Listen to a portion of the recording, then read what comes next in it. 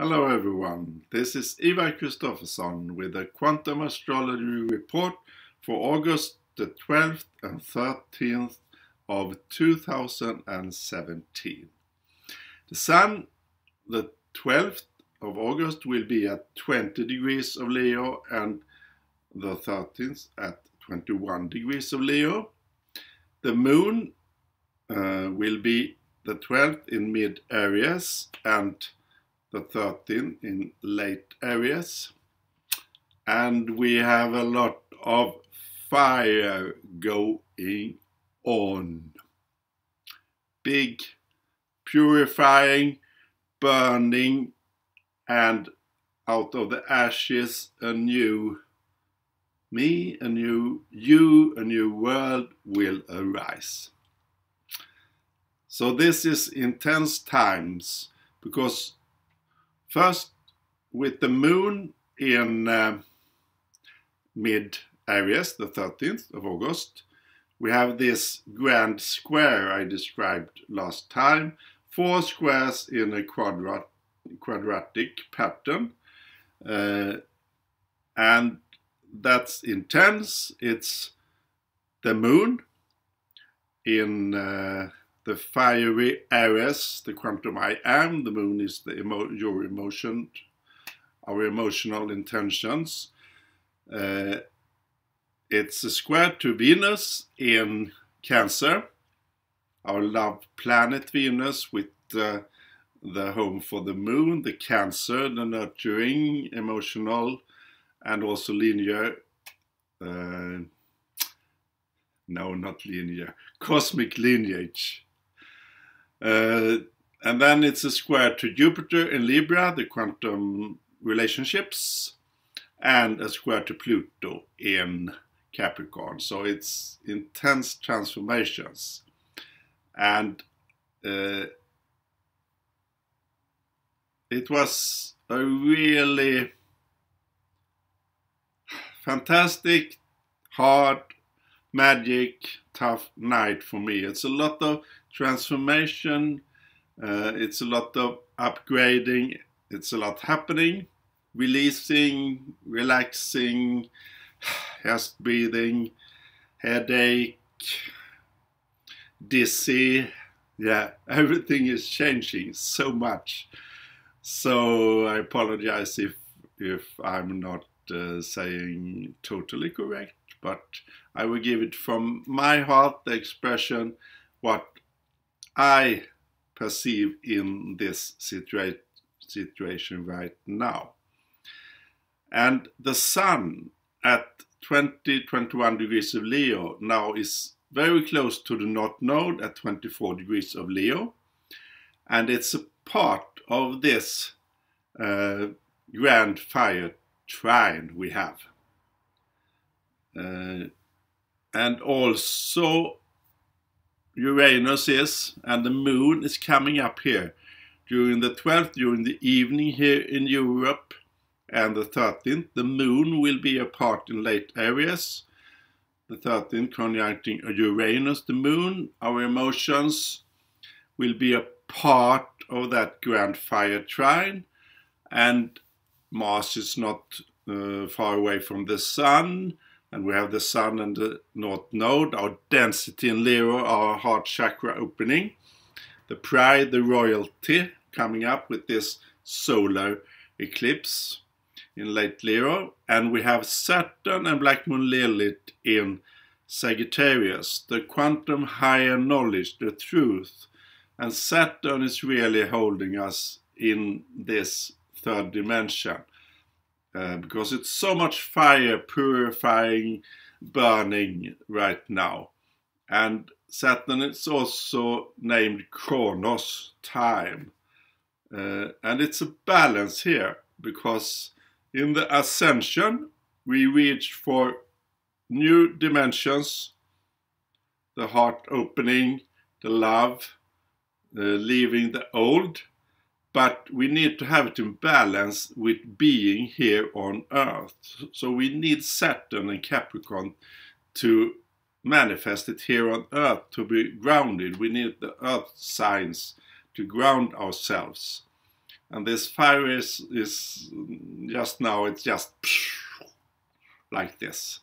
So I think you can feel it and I recommend highly to sleep a lot, drink a lot of water, hydrate yourself, uh, continue your spiritual path, what you do for yourself, for your meditation or what you do. Uh, the spiritual integrity given by Saturn here. It's very important. And the Jupiter in Libra speaking again and again and again about self-love, the quantum relationship with yourself and then with others. Uh, because we have this situation now with so much fire burning and a fantastic uh, time for release of what we carry. Uh, and in quantum astrology and what I believe in this three-dimensional world, everything is connected in other dimension. Past, present, future. There's no time in the fifth dimension that we are ascending into. So we need a balance here. And it's also this incredible knowledge that we make up our reality from within. I do it with my quantum computer, mind, heart, body. You do it with your. So we have an individual reality. That Uranus is on, on, ongoing saying. You are what you are. You make up your reality. And therefore, uh, it's very important to see every meeting, every triggering situation, everything that happens in your life is made up from your soul to experience that. It's not coming from outside, it's coming from within. As within, so without. And that's so deep. That's really every I start working as a teacher now. It's only teachers. It's a college school, um, but it's many teachers, so it's it's a lot to integrate. And then the students are coming in one week, then it will be like this. So it's really important to embrace everything that happens. And if you need to cut the cords to some people, do it, but do it with your big heart. It's really important to realize that the situation you have uh, happened happened to be in right now is made up for your experience and learning and evolving. Uh, that's a biggie, really a biggie. And we also have this starseed activation at the moment that affects me so much because we have Venus, the quantum love, and quantum means the quantum field is everywhere in universe and it's love. Uh, and it's connecting everywhere instantly, the quantum leap, and it's so different to this linear time and three dimension that we are used to. So it's possible in this time because Venus in up, is in opposition, opposition with Pluto in Capricorn and Pluto is our soul mission but also a psychic portal and opening.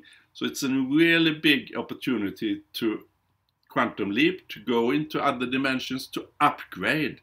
And it's a big download happening now for the star seeds, especially for the Sirius star seed, as I am, and the opposite in Capricorn, the Vega star seeds. Pluto is at Vega, Venus is at Sirius. Uh, and it's this three-dimensional world symbolized by the patriarchy for the last 8,000 years or something is is cut down, it's um, uh, changed by Pluto in Capricorn. Uh, and that means also that it has been a controlling mechanism, and it is a controlling mechanism from some uh, that are in that way in this love universe. Not all people are light, there are dark ones too. And these people had, had an experiment here on Earth and uh, transmitting fear vibration, holding people down in the small ones. And it's going on today with the media, with television, radio, etc., the news. And it's so important to vibrationally break out of that fear vibration and to stand in your own vibration and to be in your light, your heart, your Leo, your pride, your royalty. Yeah. And it's a lot of new information coming in now, new upgrade of our DNA, of the informational fields for Earth. And it's happening now. Both in the quantum now, but also in the now of the Saturn reality in the three-dimensional now. It's a great period between this partial lunar eclipse and then the big American uh, solar eclipse, the 21st of August in late Leo with the royal star Regulus, and then there will be a full moon in Pisces exactly conjuncting the quantum spirit Neptunus, and Pisces is also the quantum spirit. A full moon with the sun in Virgo that we had so much when the nodes were going on the last year, 2015, 2016, the purifying period that you know so well.